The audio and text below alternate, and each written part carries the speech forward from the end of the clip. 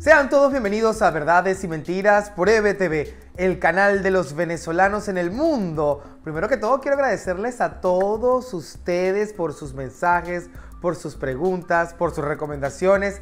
Realmente ustedes son los productores de este programa, tomamos muy en cuenta sus opiniones y obviamente lo que ustedes quieran que yo analice en el programa. También quiero agradecerle a Casa Design Furniture, que son los responsables de mi set de grabación aquí en la sala de mi hogar acá en Miami. Bueno, señores, ahora sí, lo que ustedes tanto han pedido y que recientemente ha sido casi que viral en redes sociales y muchísimas personas, pero por sobre todas las cosas mujeres estuvieron preguntando y querían conocer el lenguaje corporal, las filtraciones de información que podían existir entre Melanie y Nacho, una relación un poco difícil que ha causado pues intriga entre muchas personas y deseos de entenderla un poco más y lo que debe estar ocurriendo ahora. Para nadie es un secreto que, bueno, Nacho tenía una relación con ella y que en el pasado también se analizó un pequeño video cuando todavía la relación no era pública y yo particularmente dije que ahí había, ahí había fuego. Miren este video yo, como dicen en Venezuela, con un cierto bochinche. Tú hiciste eso del beso, dime tú, ¿tú hiciste eso del beso por fastidiar y, crear más ambiente o porque simplemente dijiste, esto lo voy a poner porque me provoca, porque es mi canción? Sí, porque era una estrategia que se venía trabajando desde hace muchísimo tiempo.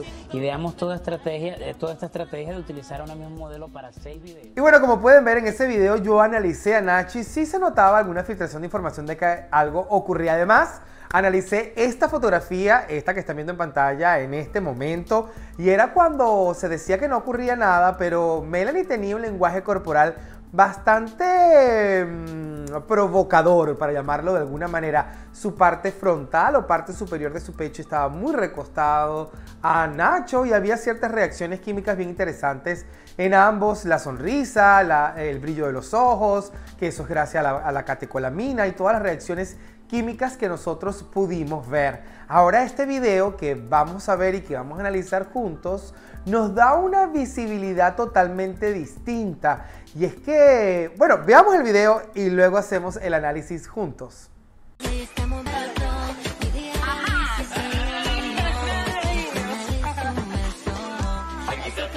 tu regalo es el lazo solito.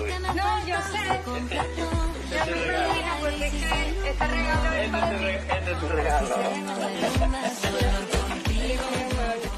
Bueno, señores, en ese video que acaban de ver pudieron darse cuenta de la sorpresa que intentó darle Nacho. Digo intentó porque ya vamos a hacer el análisis de neuratoria que intentó hacerle Nacho a su compañera sentimental Melanie, donde le entregó un automóvil cero kilómetro. Y probablemente lo que a ustedes más le llamó la atención fue la reacción de ella más que la de él. Pero para hacer eh, análisis de neuratoria, neurolingüística correctamente y no fallar con ninguno de los puntos, hay que detallar cada, cada elemento que vamos a, a evaluar. Fíjense que primero Melanie viene caminando un poco pausada, un poco congelada, sin mucha reacción, ve el carro, tiene una reacción normal, muy, muy serena, pero inmediatamente aparece Nacho por el lado derecho, por el lado izquierdo, disculpen, de sus pantallas y la reacción de él fue así como que aquí estoy, eh, ¿qué tal? Y fíjense que la reacción de ella también fue de que, ah, viniste con la sorpresa. No hubo una reacción realmente de felicidad o de alegría de verlo y me van a decir, bueno profesor, es que lo ve todos los días, tú cada vez que ves a la persona que amas vas a sonreír si estás bien, si tú estás bravo o brava o molesta, probablemente tu cara se va a ver como esa cara que ustedes estaban viendo en esa imagen. Pero además eh, Nacho se aleja un poco hacia el lateral, sostiene el lazo y cuando se acerca a ella, fíjense que inmediatamente el lazo es el muro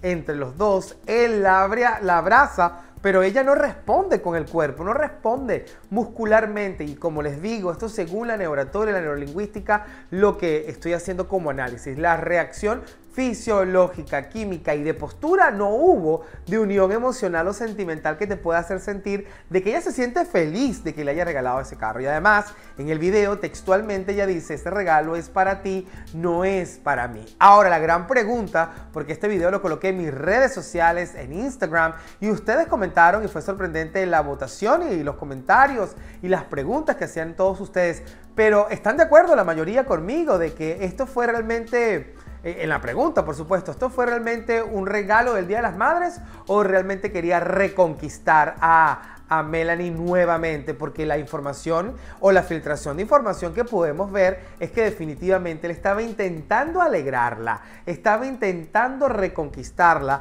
estaba intentando hacerla ver feliz y contenta y esas señales no se notaban. En mi pueblo, esto fuera de análisis de neuratoria, dicen que del tamaño del regalo que le entregas a una mujer es porque normalmente eres culpable de algo. No lo sé, así dicen en mi pueblo.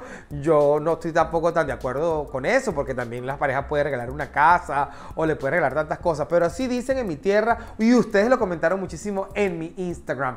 Lo cierto es que, repito, la reacción de ella fisiológica, la lejanía, el minimizar el regalo, el no tener reacción fisiológica de abrazarlo, de conectarse con él y de alguna forma también mostrar felicidad, aunque no sea el regalo que ella tanto esperaba, debería haber sido más notorio. ¿Será que está pasando algo con Melanie y Nacho? ¿Será que Melanie consiguió a Nacho haciendo algo y por eso Nacho está ahora entregando ese regalo?